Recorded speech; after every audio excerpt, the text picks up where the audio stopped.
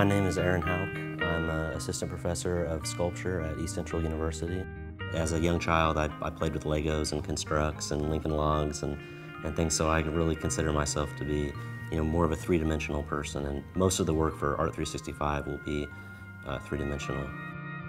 Most of my work, at least from the last uh, four years, has referenced consumerism and its effect on the environment.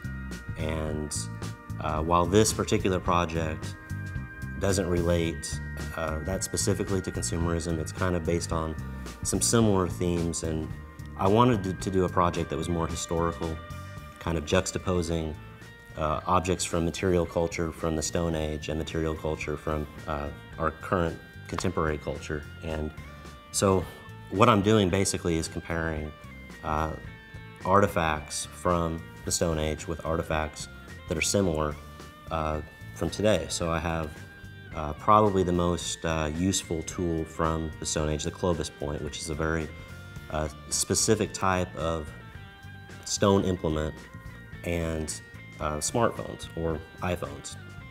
Aaron Hauck piqued my interest um, mostly through his exploration into commercialism and commodity.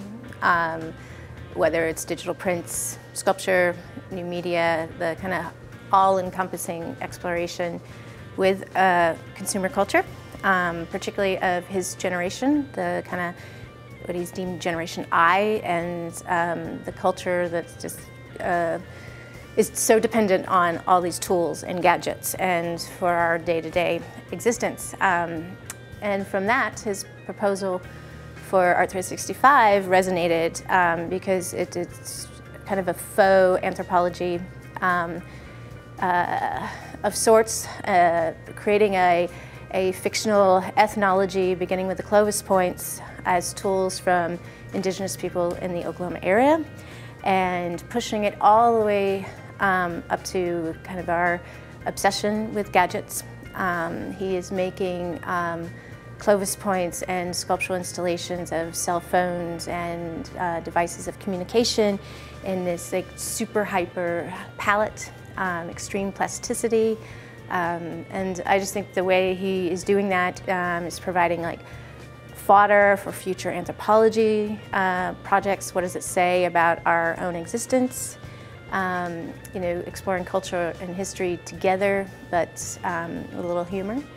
I'm remaking these, these very primitive tools, and I'm, I'm inserting kind of uh, the same kind of thing that, that we do with our cell phones, at least um, for the early part of the last decade, where everybody's phone was was unique. Every, everybody wanted to have, you know, a, their, their own faceplate.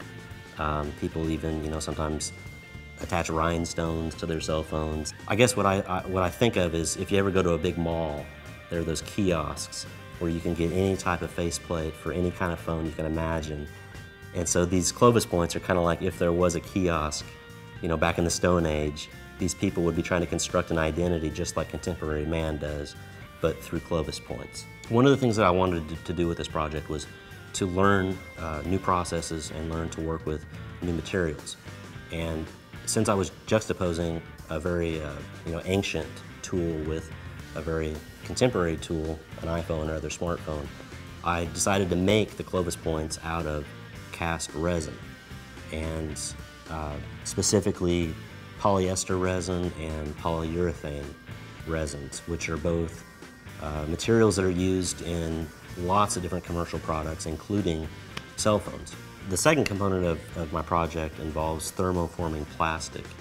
And the, uh, the thermoforming process involves uh, having a, an object that you're going to make a copy of, and then you put a sheet of plastic over it. That sheet of plastic is, is heated up until it becomes very uh, malleable, and then it's introduced to a uh, some, some sort of suction device, and it sucks the plastic down around the object that you're trying to copy. With that project, I'm making very large scale Clovis points that will almost look like, like a fast food restaurant sign outside. Um, that's also something that I've never done before, and I've spent months trying to piece together little bits of information from the internet to try to create my own uh, thermoforming machine or vacuum table. And so that's been another thing that I would have never been able to do, or at least had the motivation to do without the Art 360, Art 365 uh, project and the, the financial uh, assistance to be able to go out and purchase things that normally I, I wouldn't.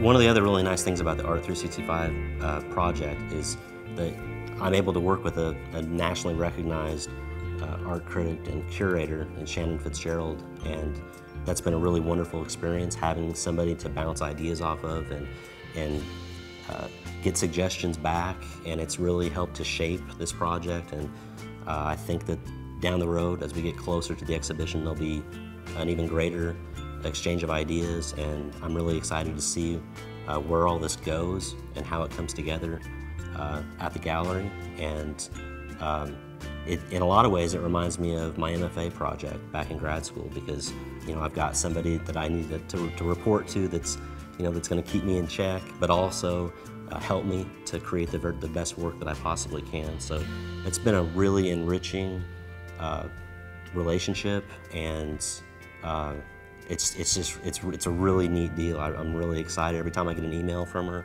every time I talk to her. It's it's really great. His experience as a teacher, having this first opportunity, this is the largest consideration for a show he's had, um, and, and, for an essay, um, and he's just curious. I mean, I think um, with all of the artists, you hope to build confidence in what they're doing, and um, that's certainly the case with Aaron. The amount of time I think is really necessary for a project of this magnitude. I think having a full year, 365 days, is is a really great thing. There's not, there's a lot of pressure, but it's not like you have a month. You can really think about things, and I tend to work really quickly. I mean, historically, I work really quickly. I can knock out a piece in a week if I need to. Uh, but th so this is this is kind of a change for me, and the perspective I think is has caused me to kind of mature a little bit as an artist because I don't have that constant pressure of getting something done immediately. And so instead of rushing into mistakes, I'm not rushing into things and I'm thinking about things and I'm making the right choices because of that. So the full year is a, it's a really generous amount of time um, that I've really enjoyed and I, I continue to enjoy every day.